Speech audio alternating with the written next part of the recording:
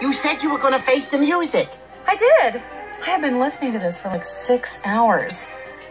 What, am I facing the wrong way? Really? The Black Widow? I panicked. I needed to buy some time while I looked for the bracelet. Okay. We have to retrace your steps from that night. Now, where did you go after you left my house? I told you I went straight home. No, wait. I didn't go straight home. I stopped for frozen yogurt. Great. You probably lost it at the frozen yogurt place. No, not necessarily. Because while I was eating the frozen yogurt, I got a massive brain freeze, so I drove myself to the hospital.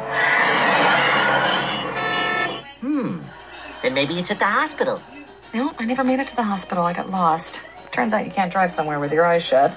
When I opened my eyes, I was parked in front of a 24 hour spray tanning salon, so I went in and got the Mega Bronzer Total Body Special.